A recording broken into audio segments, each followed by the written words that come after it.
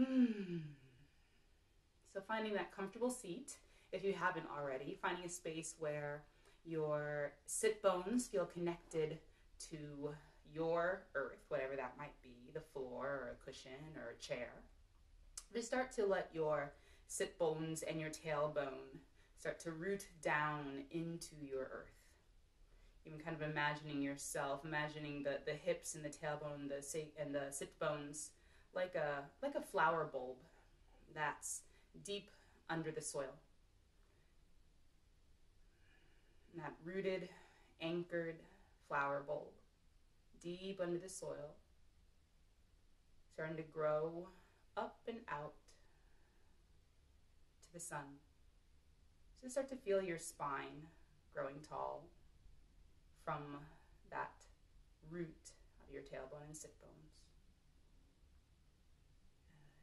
And as the spine grows up and out like a stem emerging from that bulb, just start to feel the crown of your head lift and kind of open up, just like a beautiful, brilliant spring blossom, like a tulip.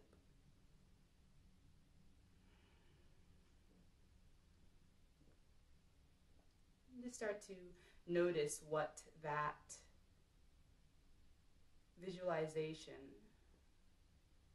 sort of sensations does it bring in the physical body?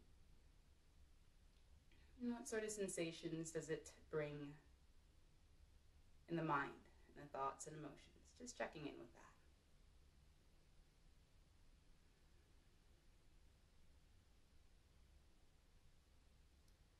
Start to roll the torso. Just starting to make some circles, some Sufi circles with the torso. The hands can rest on the thighs.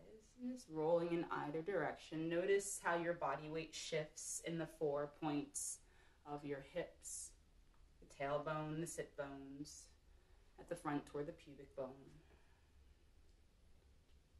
And then switch directions.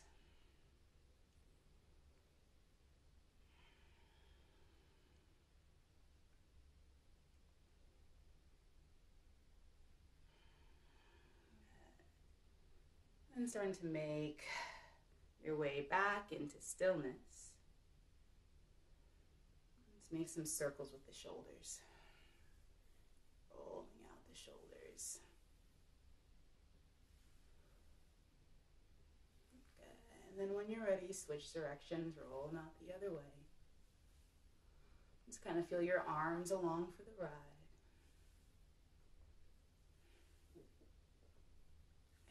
And then releasing those circles, let's make some infinity loops, some figure eights with the shoulders. And just feel the fluidity of the spine, feel the shoulder blades gliding across the upper back. and then switch directions.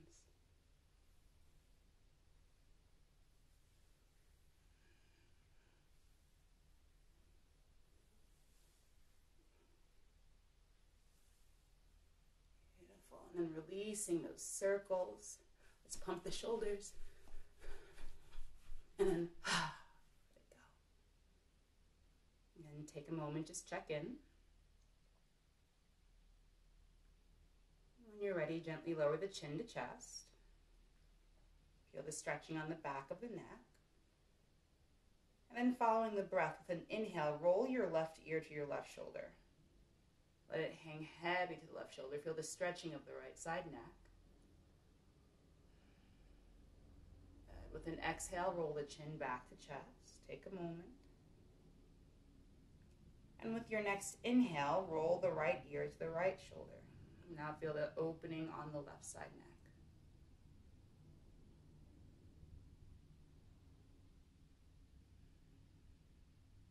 With the exhale, chin rolls back to chest. And then just move through with inhale and exhale.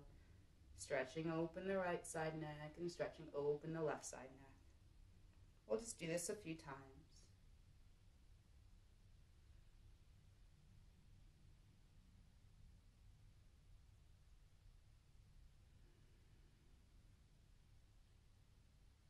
take one more round, stretching the right side and stretching the left side. And when you finish, just let the chin come back to chest. No rush. When the chin comes back to chest, just take a moment there and pause. Very slowly lift the head. And just noticing, just checking in, seeing what has changed or shifted, and what's constant, what's changeless.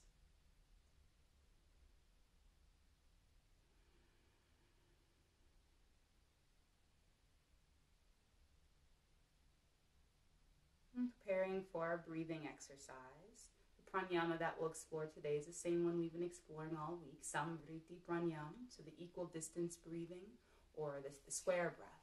So again, there's going to be four parts to the breath.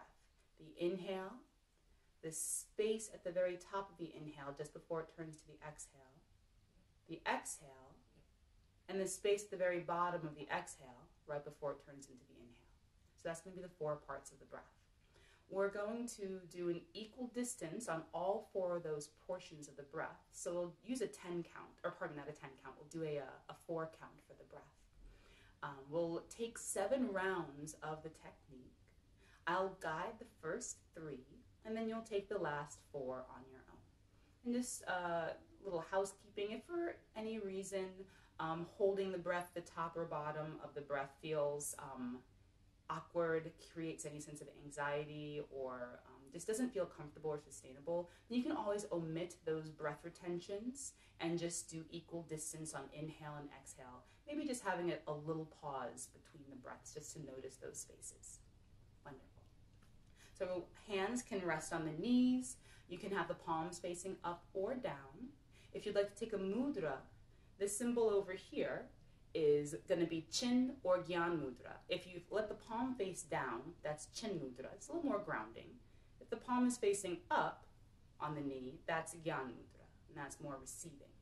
In addition, you can take what's called prana mudra, which are going to be these two fingers, the middle and index fingers on both hands, and just palms facing up, you can rest those on the knees as well. So preparing your hands however feels best. Let's all take a deep inhale. Open the mouth, big exhale. And then we'll begin. Inhale, four, three, two, one. Pause, four, three, two, one. Exhale, four, three, two, one. Pause, four, three, two, one. Inhale, four, three, two, one. Pause, four, three, two, one. Exhale, four, three, two, one. Pause, four, three, two, one. Inhale. Exhale. Inhale. Pause. Exhale. Pause. Inhale. Take the next four rounds on your own. And if you mess up the technique at all, if you mess up the pattern, it's okay. Just come back whenever you're ready.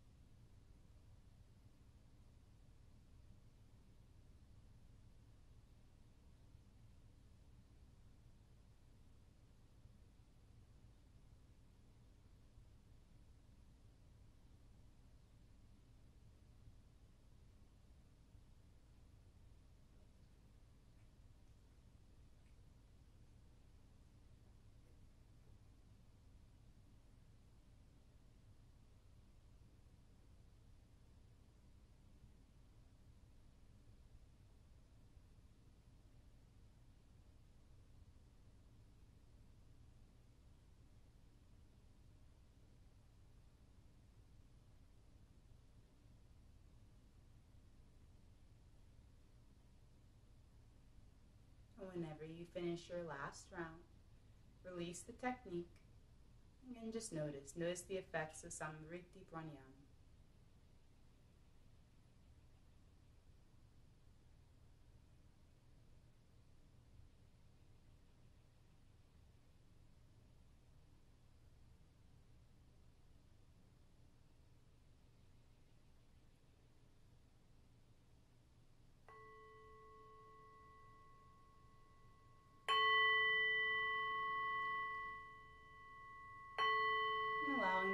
Eyes to close, or having a soft and gentle gaze at the tip of the nose or the space between the eyebrows. Letting the gentle sound of the singing bowl start to guide you deep within to your highest, truest Letting the gentle sound of the singing bowl guide you within to your highest, truest self.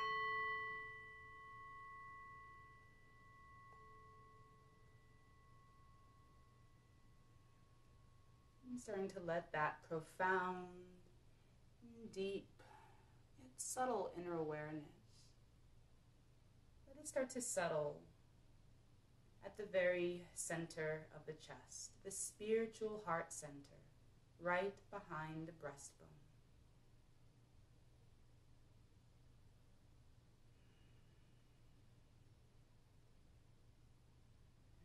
Turning the attention to the very center of the chest, the spiritual heart center, right behind the breastbone.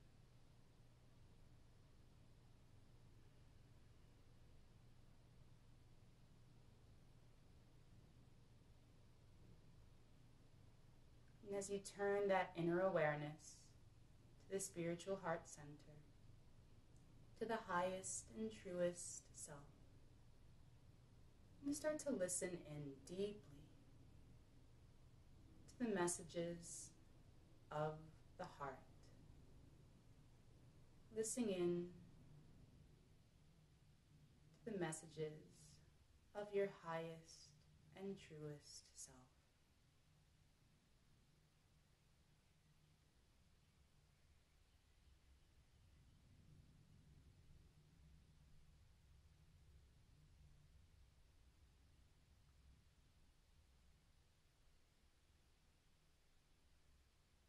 And if the mind wanders, it's okay. Let's offer yourself compassion.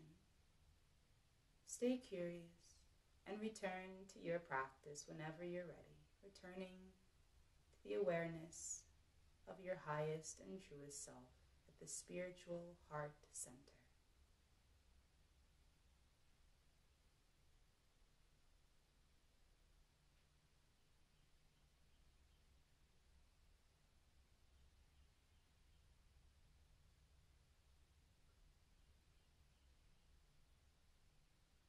And as you listen in to those messages of your heart, allow it to formulate and distill into a single word. That single, purest word from your heart. Letting that be a seed of intention called the Bija Sankalpa, the seed of intention, straight from your highest and truest self. As you hold your awareness at the heart, start to mentally repeat that seed of intention to yourself.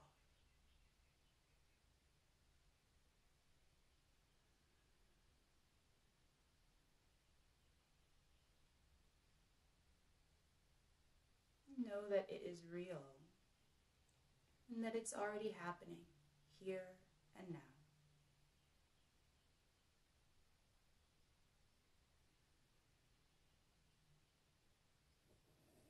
Mentally repeating your bija sankalpa, your seed of intention. And with the awareness at the heart, start to let that awareness spread, letting your intention start to grow and manifest its presence throughout your entire being mind, body, soul.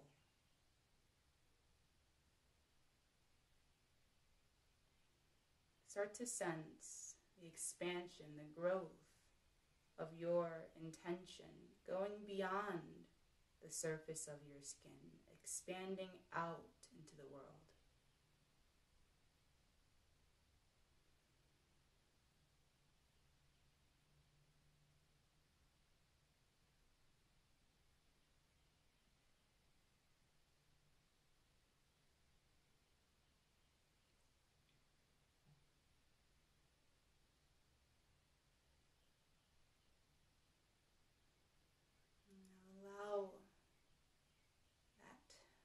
Growth and expansion, that manifesting of your Bija Sankalpa out into the world.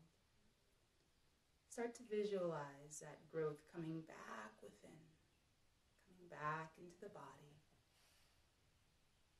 And start to sense that seed coming back into your heart. A golden white seed, no larger than a grain of rice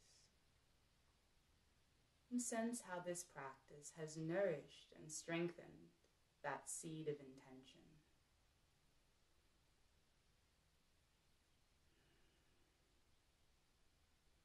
Drawing the palms heart center, let the thumbs rest at the breastbone.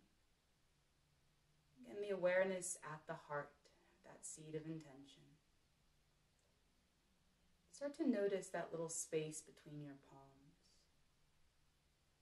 Now visualize that golden white seed of intention in your heart. Visualize that seed moving from your heart into that space between the palms. And let it start to grow there and blossom open into a brilliant flower. Keeping your thumbs touching and keeping your pinkies touching, let the index fingers part, let the middle fingers part, and let the ring fingers part starting to open up the palms into the shape of a flower.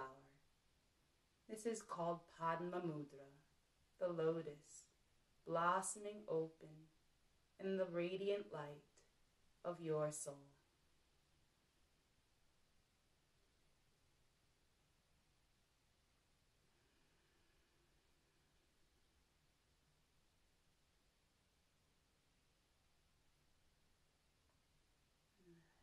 Smell the fragrant aroma of the blossoming of your intention.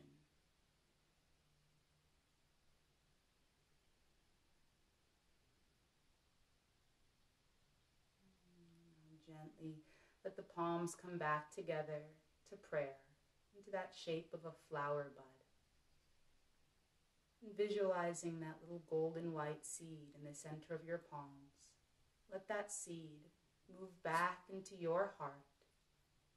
And from there, let it dissolve and diffuse throughout your entire being, knowing that that intention is always with you as it comes from your highest and truest self.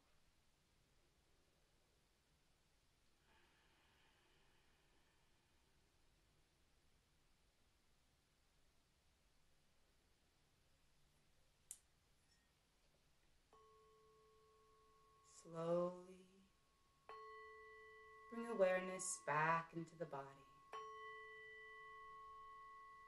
Reconnecting to the world around you. Reconnecting to the physical self. Hear the sounds of the world around you and hear the sounds coming from within you. Invite gentle movement. Notice the temperature of the room and textures on your skin. Softly and gently blink open the eyes and just take in what you see. Swallow a few times. Notice the watery sensation in the mouth and any flavors on the tongue. Deepen the breath and smell the aromas of the world around you. When you're ready, drawing the palms heart center. Let the awareness come back to the heart. And opening your heart and mind to the sound of this mantra. If you know it, please join along. Om Mani Padme Hum.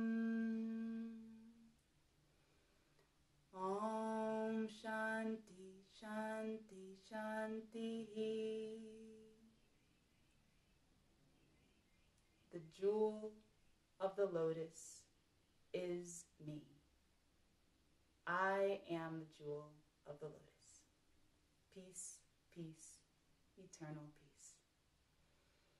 Thank you all for being here with me and for sharing in practice with me this morning. Have a beautiful rest of your day.